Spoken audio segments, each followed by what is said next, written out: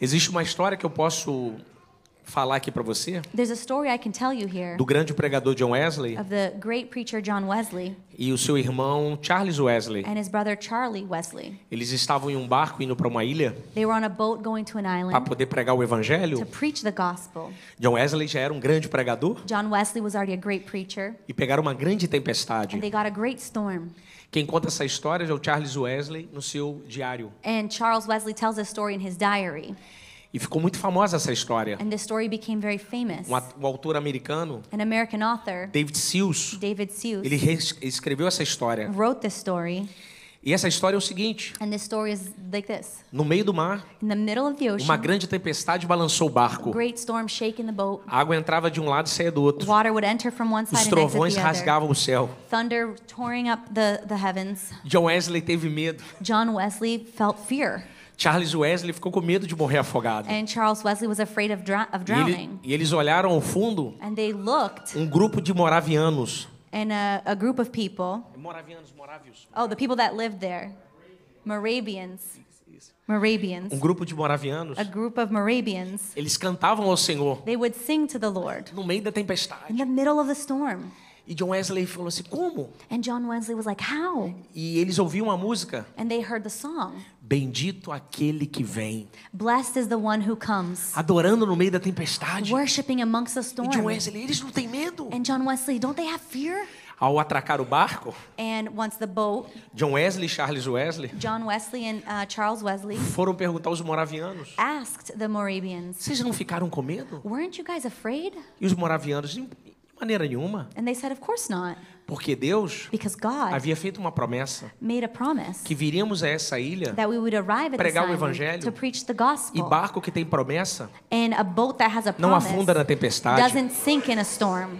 Por isso que não tememos. That's why we did not fear. Charles Wesley escreveu então uma música So Charles Wesley wrote a song baseado nessa, nessa experiência. based on this experience. Se o trovão e o mar erguendo vem, If the thunder and the storm arise, ele escreveu essa música que ficou mundialmente famosa he né, wrote this song and it became very por causa famous dessa experiência, because of this experience. porque as circunstâncias Because circumstances não pode roubar a sua paz. cannot remove your A peace. falta de dinheiro Lack of money não pode roubar a sua paz. steal your peace. Um tratamento A não pode roubar a sua paz. steal your peace. Uma crise no emprego não pode roubar a sua paz. crisis in your job cannot steal Porque your a peace. minha sua paz because our peace não é circunstancial, is not circumstantial. não depende de arma, Does not depend on weapons. não depende de dinheiro, does not depend on money. De política internacional. in international de politics. política. Politics. A nossa paz Our peace vem da cruz do Calvário.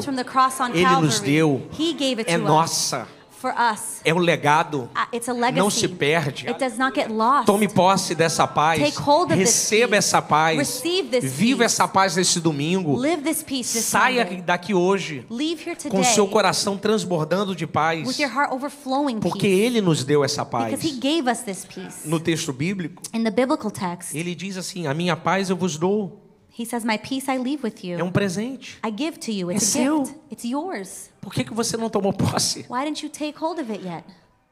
A paz é algo que, para mim e para você, Peace is something that for you faz a gente I, dormir melhor. it makes us sleep better. No Salmo 4, verso de número 8: Psalm 4 8. Em paz me deitarei, In peace I lay, em paz dormirei, in peace I'll sleep. porque só tu, Senhor, Because from only the me Lord fazes habitar you abide. em segurança. Make me abide in safety. Se você não tem paz, você não dorme. If you don't have peace, you don't sleep. Você depende de You remédios. depend on a medicine. É claro que tem pessoas Of course, there are people que precisam de remédio porque estão em algum tipo de tratamento, that need their medication because they're in some form of treatment. Mas tem outras que são dependentes But there are others that are dependent porque não conseguem mais dormir, because they can no longer sleep. porque não tem mais paz. They don't have peace. Sono é algo extremamente simples, And sleep is something so simple. mas as pessoas não conseguem dormir And some people cannot sleep porque sem paz because without peace, você não dorme. you cannot sleep. Em Atos capítulo 12, verso 6, In Acts chapter 12, verse 6, Pedro está dormindo numa prisão Peter is sleeping in a prison. E no dia seguinte ele vai morrer And the next day, he's to be dying. e ele dorme. And he sleeps.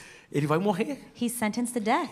a ponto do anjo And the angel cutucar ele. has to poke O him cara dorme. because he's asleep. Eu, nessa hora, Me, at that moment, eu tava em pânico. I would be in panic. Tem gente que vai fazer uma prova There's people that go to do a e não test consegue nem dormir. and they can't sleep.